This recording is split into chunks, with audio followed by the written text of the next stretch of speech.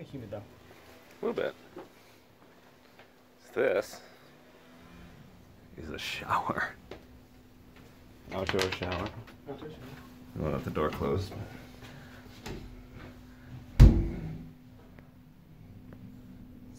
Whole thing's a shower. And then coming into the room, well, actually, I'm standing in the indoor shower now. Bathroom, tub. You know what that is? We go into the bedroom. There's a door here. Where does this go? Uh, Adjacent uh, room? Yeah. Yeah.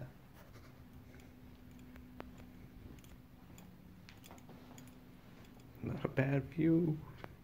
Not bad at all.